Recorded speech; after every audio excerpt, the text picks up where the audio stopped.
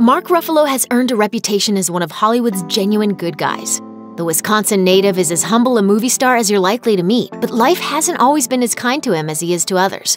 In fact, given everything he's been through, it's a wonder that he isn't a total jerk. Today, the affable Avenger is enjoying the heights of his fruitful career, but before he played the Hulk in Hollywood's biggest franchise, he had to first experience the lowest of lows. From crippling poverty and illness to several brushes with death, this is the tragic, but ultimately triumphant, real life story of Mark Ruffalo. His family went bankrupt. He might be able to pull off playing a scientific genius in the Marvel Cinematic Universe, but Ruffalo didn't exactly shine academically as a child. When he sat down for an interview with Men's Journal, the former C student told them that he believes he suffered from undiagnosed dyslexia for years, but he dug in and finished high school anyway. After graduation, his family uprooted and moved to what the profile described as a seedy beach community in San Diego, and things didn't exactly work out with that move either. He explained, Within six months, we went from normal to bankrupt and eliminated as a family. His dad, Frank, packed his bags and moved back to Wisconsin, leaving his four kids and wife Marie behind. Ruffalo had excelled as a wrestler in school, but despite being told that he had a shot at a scholarship, he decided to pursue a career as an actor instead. He moved into a $600 a month apartment with two friends and his kid brother Scott. Ruffalo recalled of that era, he'd make a giant bowl of tuna pasta and we'd eat off that all week long. The best of times, the worst of times. He battled real life anger issues. At first glance, Mark Ruffalo wouldn't appear to be a natural fit for the part of the ever agitated Hulk. Nick Fury actor Samuel L. Jackson called him a cuddly little bear and revealed that everyone loves hugging on Mark on the set of the Marvel movies. But believe it or not, he used to be a lot more like his big green alter ego. Now might be a really good time for you to get angry. That's my secret, Cap. I'm always angry. Ruffalo told the New York Daily News, You should have seen me in my 20s. Man, I was the poster definition of an angry young man with a persecution complex. I was struggling as a young actor, suffering through imagined or real slights from other people's hands, so it wasn't too hard to revisit those places. Ruffalo spent so long dealing with professional rejection that he started to bring his anger home with him. He remembered, there was a time if you came into my apartment, there were pictures and posters hanging in very odd places where they were covering fist holes through walls, glasses that had been thrown through, coffee mugs, books, whatever I could get a hold of. He suffered from anxiety. The three time Academy Award nominee told Rolling Stone in 2015 that he eventually reached a point where he was struggling to sleep because his brain wouldn't shut off at night. Luckily, an old friend recommended that he try meditation, and it changed his life. Ruffalo told Rolling Stone, I had a friend who had been a long-time drug addict. He did the meditation program, and we hooked up again after a couple years. He had been the angriest man in the world, and he had such a calm demeanor. I'd never seen a human being change that much. The actor sought out his own meditation teacher to see if it would work for him in the same way, and the results were astonishing. It's pretty much a daily practice that quiets your brain and, oddly enough, actually slows down time so you're not so much trapped in your immediate reactions to things. And everything changed. My work started to change, my luck started to change, the way the world looked to me changed. According to the actor, practicing meditation gave him, quote, an enormous amount of hope that everything was going to be okay.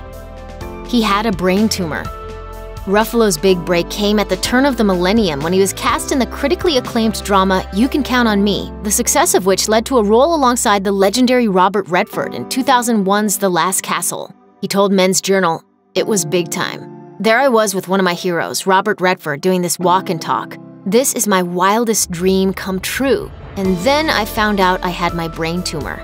You have a mass behind your left ear the size of a, of a golf ball we don't know what it is yet. Ruffalo was informed that he had an acoustic neuroma behind his left ear and would need surgery to have it removed as soon as possible. Surgeons informed him there was an 80% chance he would lose his hearing and a 20% chance his facial nerves would be permanently damaged. I, I thought, honestly, I thought I was going to die. While the star came out of surgery alive and well, it wasn't without its complications. Ruffalo told the Acoustic Neuroma Association, my father told me that my heart had stopped briefly on the, operating table, and so that was scary to me. Thankfully, his heart started beating again, but despite the removal of the benign growth, his battle was just beginning. They told me that the, um, the surgery went well, they got all the tumor, uh, they preserved my nerve, but I just heard a ringing in my left ear. Half of his face was paralyzed. When that ringing faded, Ruffalo recognized that he'd lost all hearing in his left ear. Worse still, I woke up after that, and, I, uh, and my face was paralyzed, and I, and I couldn't close my eye. he told The Telegraph in 2011, I was like that for about 10 months, and the likelihood of it ever getting better looked pretty remote. The chances of the nerves coming back diminish each month, and month 7 was pretty much the cutoff point. But finally, the paralysis did start to go.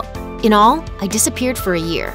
In that time, Ruffalo kept quiet about why he dropped off the map, but that didn't stop people from guessing. There were all kinds of rumors about what had happened to me drugs, alcoholism, AIDS. Whatever the truth, I was damaged goods. I mean, no one is going to hire an actor with half a paralyzed face. Fortunately, his facial nerves eventually recovered and he fought his way back into the spotlight. In 2011, he got his first Oscar nod for his performance in The Kids Are Alright. Did somebody take his brother's life? In December 2008, the Los Angeles County Coroner's Office ruled that Ruffalo's younger brother Scott was murdered. When paramedics arrived to the 39 year old hairdresser's Beverly Hills condo, they found him with a gunshot wound to the side of the head. He was rushed to the hospital and managed to hang on to life for a week, but when it became clear that he wasn't going to recover, his life support was switched off, devastating his family. The two other people present at Scott's home that night were arrested, but told authorities that Scott inflicted the wound on himself during a game of Russian roulette. Ruffalo was set to star in Noah Baumbach's Greenberg at the time, but he dropped out of the indie flick to grieve. Not for the first time in his career, losing a role because of a tragedy turned out to be a blessing in disguise, as when Ruffalo returned to the fold, he gained a part in what would become the highest grossing Hollywood franchise of all time the Marvel Cinematic Universe. He told In New York, My friends have a term, getting ruffaloed. Ruffaloed is, is, is when you have what seems to be bad luck Yeah. that actually turns into good luck later. Not that he wouldn't change things if he could. He told Men's Journal, You always wonder, what could I have done differently? But there's also the healthier part that says, you integrate it and you get on. You never get over it. You just get used to it. You get calloused, a little bit harder maybe, so be on guard for that. But take these tragic things and turn them into something meaningful and worthy of the loss. Make it count. From here on out, do the best you can to make it count. He was accused of terrorism, or was he?